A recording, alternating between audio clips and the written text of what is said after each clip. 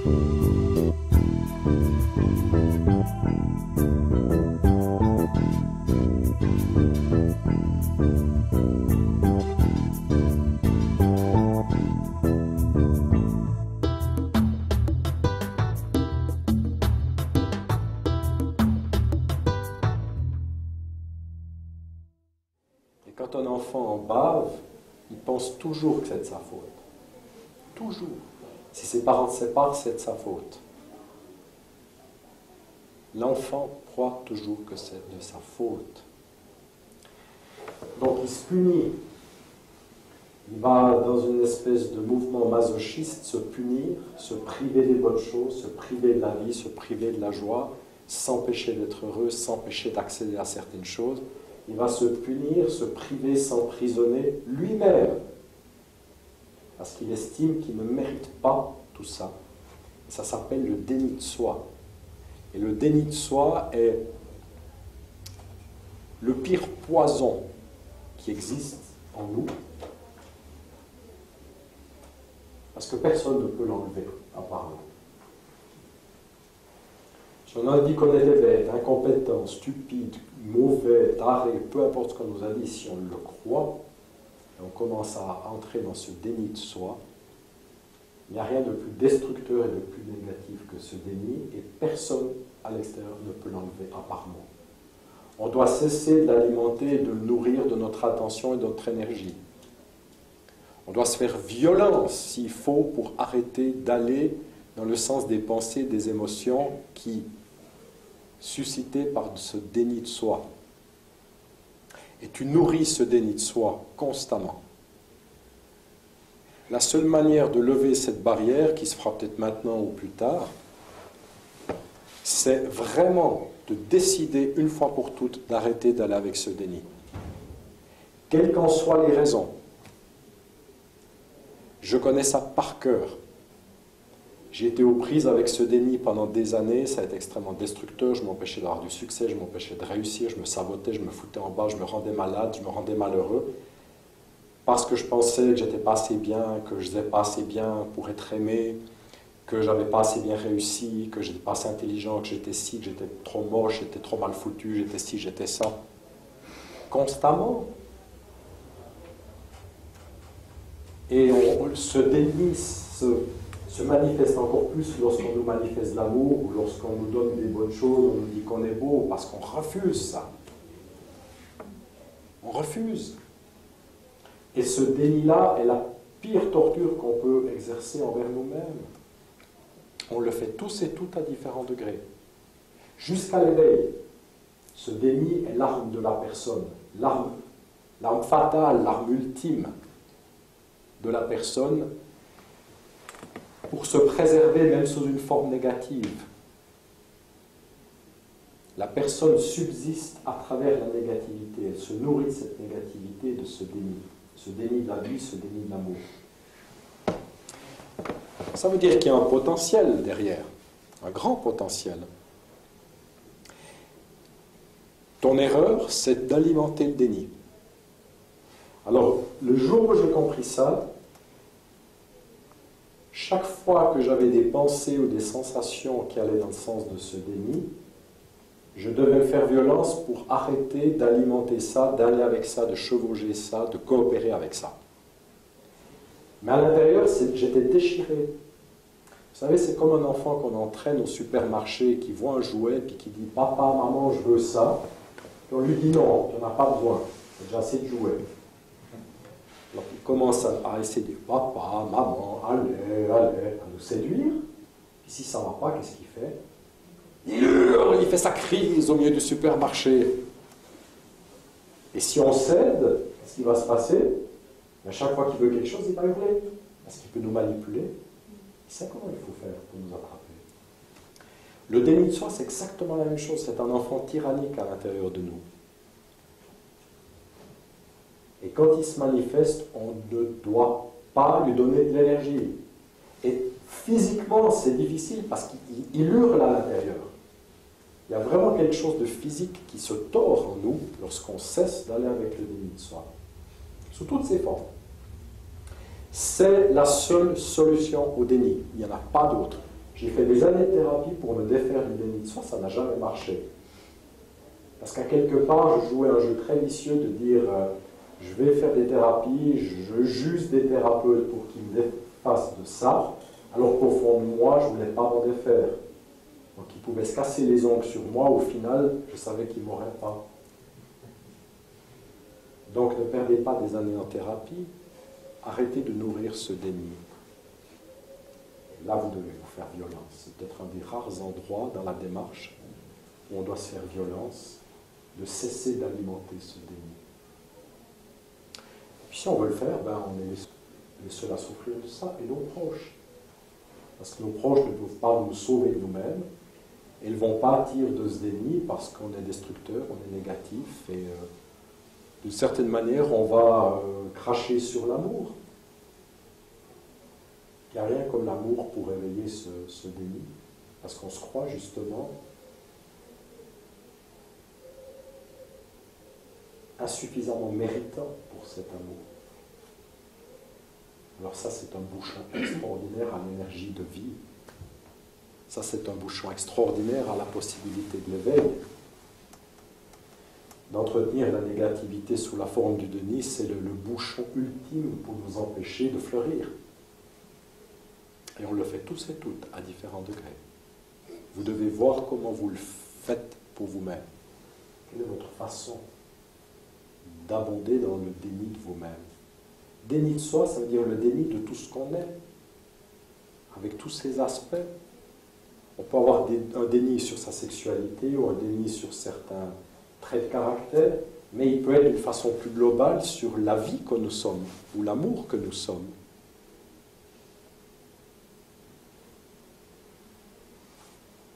Et vous pouvez aspirer à l'éveil tant que vous ne vous occupez pas de ça, euh, vous pouvez oublier. Et ça, c'est du concret. Ça, c'est du concret parce que c'est là tous les jours. Donc, si vous allez le matin dans la cuisine, puis le soir précédent, vous avez cassé un verre par terre, il sera là le lendemain encore. Et si vous ne déveillez pas les débris, vous allez marcher dessus et vous faire mal aux pieds. Le déni, c'est la même chose. Si vous n'en occupez pas, il sera encore là demain. Et s'en occuper ne veut pas dire lui donner de l'attention, c'est de cesser de lui donner de l'énergie. Et si on arrête de lui donner de l'énergie, il commence à se dissoudre, à se défaire. Ça peut prendre quelques semaines, quelques mois, mais c'est comme ça qu'on y arrive au bout. Des fois, on se fait prendre, malgré tout, et ça fait rien. On recommence, on recommence dizaines, centaines de fois, jusqu'à qu'on devienne maître de soi. Maître de soi ne veut pas dire être en contrôle de tout ce qu'on est, c'est être en contrôle de ces mécanismes qui nous tirent en bas qui nous empêche de fleurir. Être maître des émotions ne veut pas dire les réprimer, ça ne veut pas dire ne pas être pris, ne pas être emporté par ces émotions. Être maître de soi veut dire ne pas céder au déni de soi. Et souvent, quand on parle de maîtrise, on parle de contrôle. C'est quoi le déni enfin, le, déni. Déni C'est le refus de t'accepter tel que tu es totalement et complètement.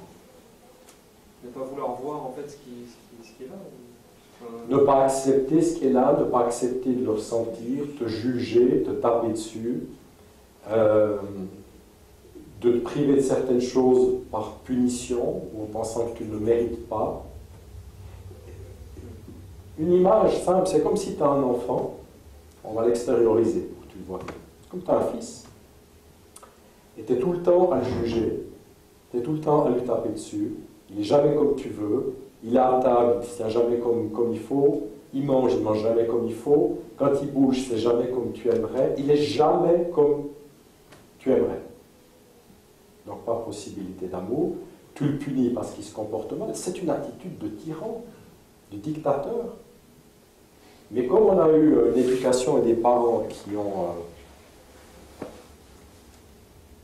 qui n'ont pas toujours manifesté leur amour, qui n'ont pas toujours accepté ce qu'on était dans notre globalité, on a essayé de se plier à nos attentes, de se plier au moule en se coupant de certains aspects de nous-mêmes. Et on continue de le faire maintenant, même si on est loin, indépendant de nos parents, même s'ils sont morts. Et c'est ça qui nous empêche d'accepter la totalité de nous-mêmes. C'est toutes ces idées, ces concepts, ces pensées qui nous amènent à juger certains aspects de nous-mêmes ou de notre, de notre ressenti. Alors, dans les gens qui viennent me voir, j'ai des gens qui, qui ont déjà fait un cheminement, qui ont une bonne connaissance d'eux-mêmes et qui, tout à coup, n'acceptent pas le fait qu'ils puissent avoir encore des désirs sexuels de bas étage.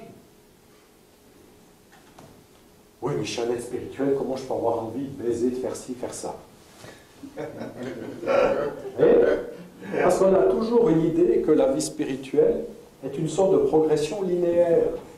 Je dois être toujours plus beau, toujours plus sain, toujours plus lumineux, toujours plus pur. C'est pas du tout comme ça que ça se passe. En fait, c'est l'inverse. Plus on descend en nous-mêmes, plus on confronte ce qu'il y a de plus bassement humain en nous. Donc plus on évolue, plus on a des chances de rencontrer les couches les plus profondes qui ont été réprimées en nous-mêmes. Moi, j'ai été surpris dans, ce voyage dans le temps, dans ma psyché, en moi-même, de rencontrer des choses dont je n'avais pas idée, dont je ne soupçonnais même pas l'existence, mais que j'avais réprimées simplement par euh, mon éducation. Il faut l'accueillir aussi. Ça nous confronte dans l'image de nous-mêmes, dans l'image qu'on a de notre valeur. Parce que qu'est-ce qu'on tient notre valeur de nous-mêmes? Intérieure et à travers le regard des autres. Mais notre vraie valeur, elle n'est pas là.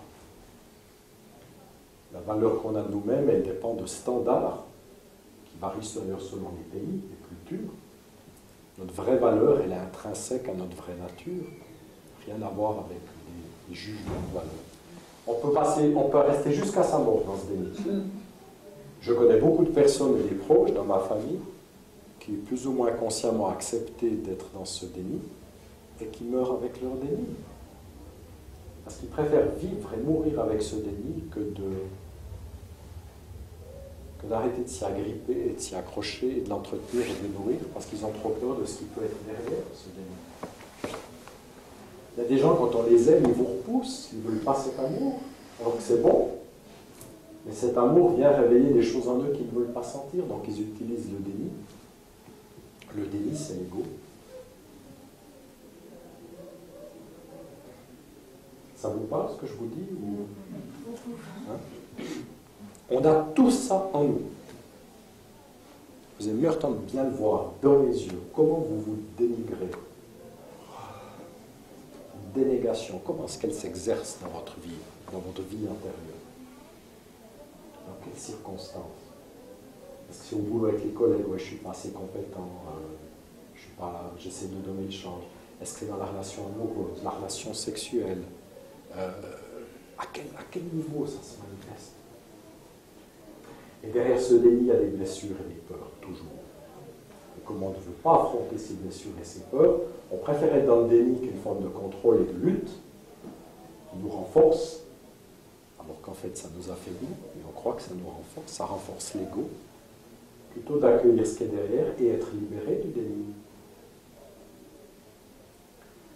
Moi, j'en ai tellement souffert de ce déni, j'en suis tellement infligé, je suis un expert du déni de soi. Ah, je peux vous en parler longtemps, mais je sais que c'est le pire poison, et c'est jusqu'au dernier moment.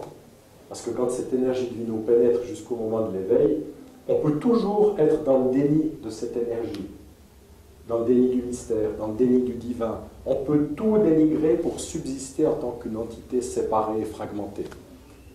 Et la personne que l'on croit être pour survivre, elle est prête à tout. Quand je dis tout, c'est tout. Elle est prête à toutes les destructions et à toutes les négativités pour survivre. Ça veut dire que même le plus bel amour dans votre vie, vous serez prêt à le piétiner si vous pouvez sauvegarder, votre personne. C'est redoutable, hein Il ne faut pas croire.